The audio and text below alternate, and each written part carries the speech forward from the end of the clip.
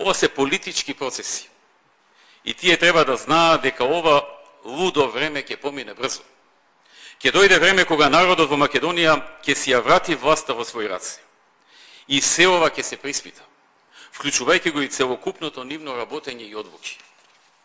Очигледно е дека моето и на моите адвокати присуство во судницата на апелациониот суд не може веќе ништо да промени.